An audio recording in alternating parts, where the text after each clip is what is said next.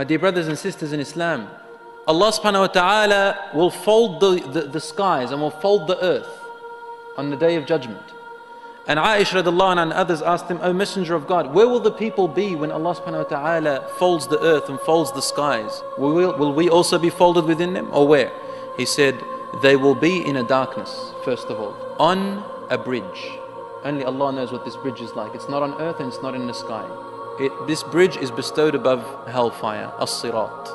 There are many hadiths which are sahih stating in the same way, on the sirat. So if this is all darkness, where is the sun? The sun comes later.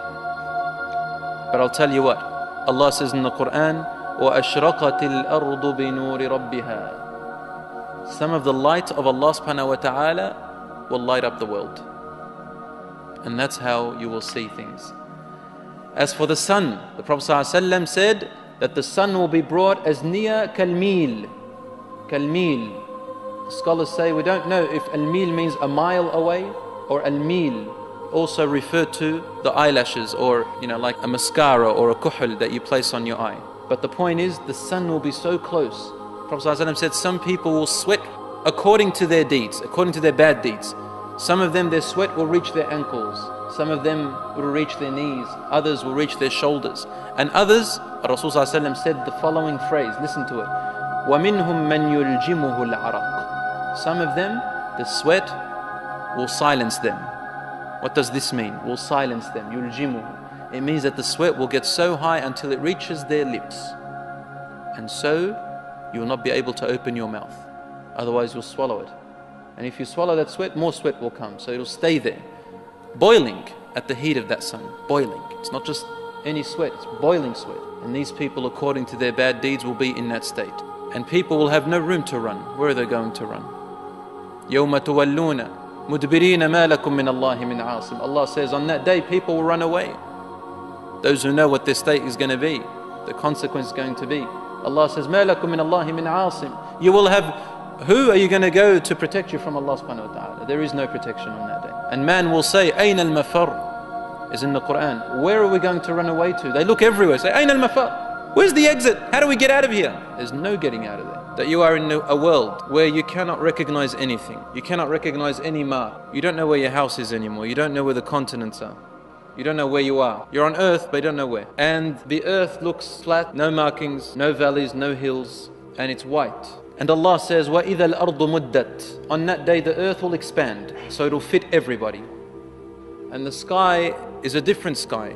In some tafsir it says it's also white. The sun is no longer there in the position you see it. It has been brought very near, very large. The point is, the sun is very close. You are gathered with all the creation from the beginning of the creation of this world to the end of time. Everybody is naked, everybody is barefooted. Allah says, لقد كنت في غفلة من هذا فكشفنا عنك غطاءك فبصرك اليوم حديد This day was unknown to you. You were unaware of it, or you didn't really know it in reality.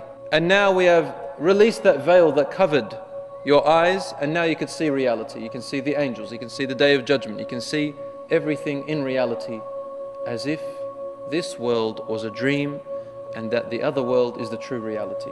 The prophets are concerned. Did they deliver their message? What are their people going to say? The people are concerned. The Muslims are concerned. The non Muslims are concerned. The devils are gathered and they're concerned. The shayateen, the jinns. The animals are gathered. And there is no injustice on that day. It is the day of reckoning, the day of accountability. That's the day that's going to decide whether it's eternal heaven or eternal hellfire. People are gathered with different types of people, and they are gathered in different forms and shapes and ways, all depending on what you left this world on. What kind of deeds did you leave this world with? Rasul sallallahu alayhi wasallam tells us about the state that will be gathered. And he said, he pointed one day to a Sham, the Middle East, the greater Syria, and he said, from there to there, and he pointed towards a Sham, will be the place of gathering on the day of judgment. Will you be judged there? Allahu Alam. But the first gathering is there. So there is a gathering before the judgment begins. There is a gathering before the judgment begins. And some of our scholars said the gathering begins and then you are transferred to different states and positions depending on your deeds and who you are to be judged in your own way. And everybody will think that they will be the only ones being judged. At this point, my dear brothers and sisters, these gatherings that I'm talking about, judgment has not begun yet. Every person is in that state. And Allah describes that we are looking up in terrified eyes. Believers and non believers. We don't know what's going to happen. What's going to happen? Yes, you may have many good deeds, but who have you harmed? Who will take your deeds today? Is there something you've forgotten that will probably make you bankrupt today? What will happen? No one is sure what is going to happen to them. The first one that will be resurrected from underneath the ground is Muhammad sallallahu alayhi wasallam. The bones are brought up above the ground. And the first one to be raised is Muhammad sallallahu alayhi wasallam. He will see Musa alayhi salam and he will see Ibrahim alayhi salam almost, almost simultaneously resurrected. And he said, the first among the people who will be clothed will be Ibrahim alayhi salam. Speaking this hadith, the ulama say that the Prophet almost simultaneously is clothed as well. Some narrations say he, Ibrahim ﷺ is clothed the first one because he is the first to uh, practice the wearing of the sirwal. It's a very loose trousers in prayer. But Ibrahim alayhi salam will be clothed and the Prophet ﷺ will be clothed simultaneously with him. This is an indication to us that everyone will be gathered initially naked, no clothes. There's another hadith which Prophet ﷺ said, يُحْشَرُ النَّاسُ يَوْمَ الْقِيَامَةِ حُفَاةً عُرَاء غُرْلًا Every person will be gathered on a day of judgment, barefooted, naked, and also non-circumcised. Those who were circumcised were non-circumcised. The same way they were created. Allah says in the Quran, لقد جئتمونا كما خلقناكم أول مرة You have now come back to us. The same way exactly as we created you in the beginning.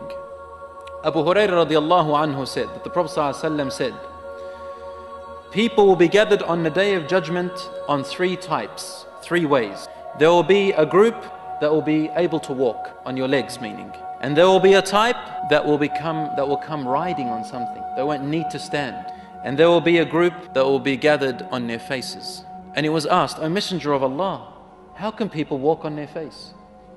The Prophet ﷺ replied, The one who could make people walk on their legs will be able to make people walk on their faces on the day of judgment. Very easily. Don't ask. Those people who walk on their faces, are the criminals, the ones who did things against Allah subhanahu wa ta'ala's laws. And they are the disbelievers. And they are those who had pride and arrogance, proudness and arrogance on this world, in this world. And there are those who will be gathered in other hadiths like ants. They are also the ones of proudness.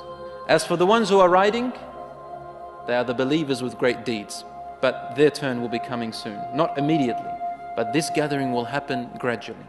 Allah subhanahu wa ta'ala says in the Quran, يوم نحشر المتقين إلى الرحمن وفدا Those who are muttaqeen will be gathered on the day of judgment on vehicles riding. And they'll be driven to heaven in the end on vehicles riding. What is al-muttaqeen? Al-muttaqun are people who used to protect themselves from the wrath of Allah subhanahu wa ta'ala in this world. You knew this was haram, you knew it would anger Allah, you knew that there is a sin for it, so you protected yourself from it. This is called muttaqi. وتتلقاهم الملائكة And there will be angels that will run to these people and they will grab them. هذا يومكم الذي كنتم توعدون The angels will give them good news and they will say to them, This is your day that you've been promised. Don't worry. As for the criminals, Allah says, and we will gather the criminals and drive them along. They'll be driven like prisoners with chains locked up, driven in different states. Wirda, wirda meaning thirst, stream thirst. وَنَحْشُرُ الْمُجْرِمِينَ يَوْمَئِذٍ Allah says, and on the day we will gather the criminals blue in color. Their whole body will be blue in color and thirsty in chains. Allah also says, there are people who He will gather عميا وبكما وصما people who will be blind dumb cannot speak and cannot hear they don't know what any feel narrated by Muslim that Jabir ibn Abdullah radiallahu anhu said I heard the Messenger sallallahu alayhi wasallam say every servant every person will be gathered on the day of judgment on the state that they died on in this world on the state they died on in this world. The state that we die is the state will be resurrected. This means that the path that you were leading in your lifestyle will be the consequence of that. You will find it in the hereafter. You'll be raised on that way. For example, if a person used to drink alcohol and was an alcoholic, will be raised on the day of judgment with the signs of alcohol on him, intoxicated, and there is no running away from that secret, if it was a secret. Or if a person was led astray, worshipping idols, they'll be raised as worshippers of idols. You'll be raised on the state you died on. And in another hadith, Prophet ﷺ said, يُحْشَرُ الْمَرْءُ مَعْ مَنْ أَحَبْ Every person will be gathered with those whom they used to love or imitate in this life. Everyone will be justly and fairly united and gathered on the day of judgment in accordance with their actions and in accordance with the way and the state they died, in accordance with whom they loved and imitated and they wanted to be with. Allah will raise you with them. So choose who you want to be your companion on the day of judgment. And whoever that companion is, you'll be going with them wherever they go. Because you imitated them, you loved them, and so you will follow those whom you loved. The Prophet ﷺ gives another example of some other type of people, how they will be gathered. He said, by the one who possesses my soul in his hand. There isn't any one of you who is injured in the path of Allah subhanahu wa ta'ala. And you're fighting in the cause of Allah subhanahu wa ta'ala in justice, but in the path of Allah subhanahu wa ta'ala, except that on the day of judgment you will be raised and with your blood still apparent in the place that you were injured in his path. If it's a bruise or a blood or a harm, that harm will be shown, but there is no pain. But it will be shown as a sign, as a symbol for everybody to see that you were one who worked and died in the cause of Allah subhanahu wa ta'ala. And its smell, if it's blood, its smell on the day of judgment with the smell of fragrance of musk. Its color is the color of blood and its smell is the smell of musk. It's narrated in Bukhari and Muslim. Ibn Abbas anhu says, There was a man with the Prophet Muhammad who was on a pilgrimage. He was on Hajj with them. And he was in his ihram, you know the white cloth they wear in ihram, in Hajj? He was wearing that pilgrim's clothing. And he got injured by his mule or his camel, and as a result, injured him so badly that he got sick and he died from that injury. Then the Prophet ﷺ said to his companions, Wash him with the water of cedar, with the liquid of cedar tree, and clothe him with his own clothing, the clothing of Hajj. Wherever he is in, wrap that around him. And do not put any type of fragrance on him because when he was in Hajj, he was in Ihram. In, in Ihram, you don't put fragrance on. He was still in that state. So he said, don't put, keep him in that state. And do not cover his head because when you're in the state of Ihram in Hajj, you don't cover your head. He said, فَإِنَّهُ يُبْعَثُ يَوْمَ الْقِيَامَةِ مُلَبِّيًا On the day of judgment, he will be raised saying, لَبَّيْكَ اللَّهُمَّ لَبَّيْكَ I have come to your call, my Lord, I have come. So this is also in Bukhari. Evidence that people will be raised in the state they died on. So this man will be raised with this kafan. Allahu Akbar. Your sins have been forgiven. And you are saying, Labbaik Allahumma labbaik. We ask Allah to resurrect us in a good state and with a clean heart.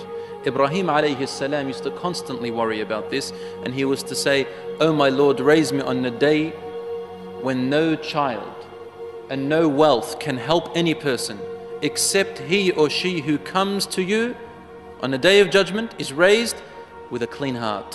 What does a clean heart mean? It means that you fulfilled the word of La ilaha illallah and stayed away from the haram as much as you can, repented from what you could, and fulfilled your compulsory duties towards Allah subhanahu wa ta'ala. That is a clean heart.